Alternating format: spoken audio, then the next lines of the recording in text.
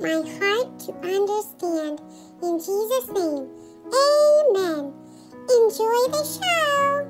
Very early in the morning, the leading priests, elders, and teachers of the law of the Jewish council decided what to do with Jesus.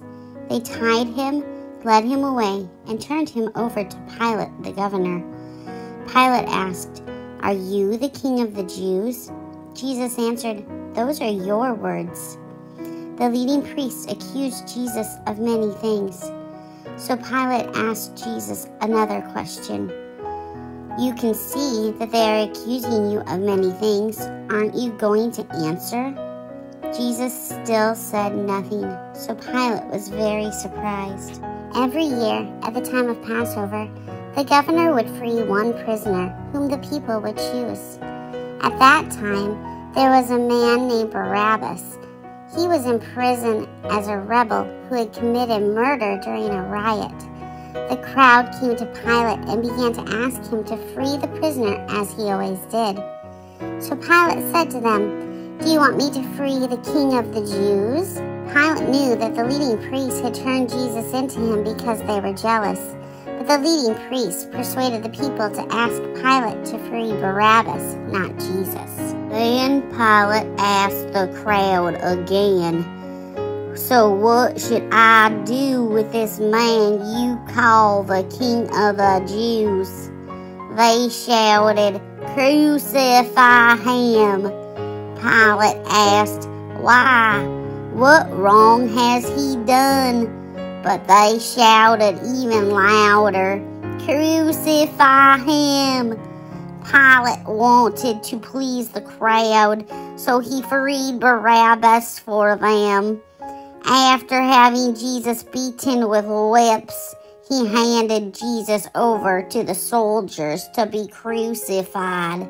The soldiers took Jesus to the governor's palace called the Praetorium and called all the other soldiers together. They put a purple robe on Jesus and used thorny branches to make a crown for his head. They began to call out to him, Hail, the King of the Jews! The soldiers beat Jesus on the head many times with a stick. They spit on him and they made fun of him by bowing on their knees, worshiping him.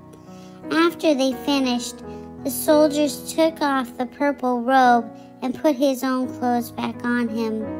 Then they led him to the palace to be crucified. A man named Simon from Cyrene, the father of Alexander and Rufus, was coming from the fields to the city. The soldiers forced Simon to carry the cross for Jesus.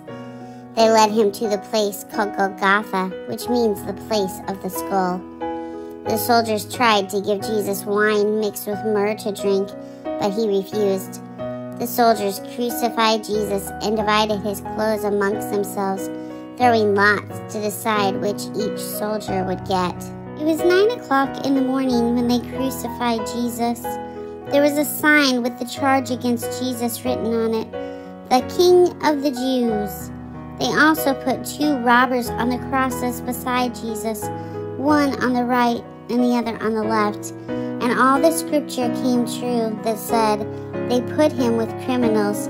People walked by and insulted Jesus. They shook their heads, saying, you said you could destroy the temple and build it again in three days. So save yourself. Come down from the cross. The leading priests and teachers of the law were also making fun of Jesus. They said to each other, He saved other people, but he can't save himself. If he is really the Christ, the King of Israel, let him come down from the cross now. When we see this, then we'll believe him. The robbers who were being crucified by Jesus also insulted him. At noon, the whole country became dark, and the darkness lasted for three hours. At three o'clock, Jesus cried in a loud voice, Eloi, Eloi, Lama Sabachthani. This means, My God, my God, why have you abandoned me? When some of the people standing there heard this, they said, Listen, he is calling Elijah. Someone Someone there ran and got a sponge, filled it with vinegar, tied it to a stick, and gave it to Jesus to drink. He said, We want to see if Elijah will come and take him off the cross. Then Jesus cried in a loud voice and died. The curtain in the temple was torn in two pieces from the top to the bottom. When the army officer who was standing in front of the cross saw what happened when Jesus died, he said, This man really was the Son of God. Some women were standing a distance from the cross watching. Among them were Mary Magdalene, Salome, and Mary, the mother of James and Joseph. James was her youngest son. These women had followed Jesus in Galilee and helped him. Many other women were also there who had come with Jesus to Jerusalem. This was preparation day. That means the day before Sabbath. That evening, Joseph from Arimathea was brave enough to go to Pilate and ask for Jesus' body. Joseph, an important member of the Jewish council, was one of the people who was waiting for the kingdom of God to come. Pilate was amazed that Jesus would have already died, so he called the army officer who guarded Jesus and asked if Jesus had already died. The officer told Pilate that he was dead, so Pilate told Joseph he could have the body. Joseph bought some linen cloth, took the body down from the cross, and wrapped it in the linen. He put the body in a tomb that was cut out of a wall of rock then he rolled a very large stone to block the entrance of the tomb, and Mary Magdalene and Mary, the mother of Joseph, saw the place where Jesus laid. The Bible says the wages of sin is death, but the gift of God is eternal life through Jesus Christ our Lord. It also says, if you confess with your mouth Jesus is Lord and believe in your heart that God raised him from the dead, you will be saved. Would you like to ask Jesus in your heart and be saved from your sin? Pray this prayer with me. God, thank you for sending your son Jesus to die on the cross. I confess with my mouth that he is my Lord, and I believe in my heart that you raised him from the dead.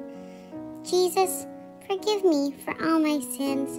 Come into my heart, make it new, and help me live for you because I love you.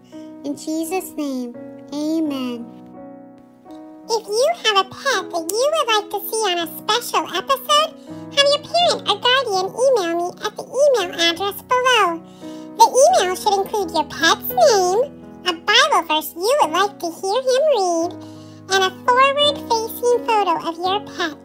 If you would like your name and age included, add that to the email as well. Each time we have 10 entries, we will make a special episode. If you loved this episode, like our channel, subscribe, and ring the bell. See you next time. Thanks for watching the show.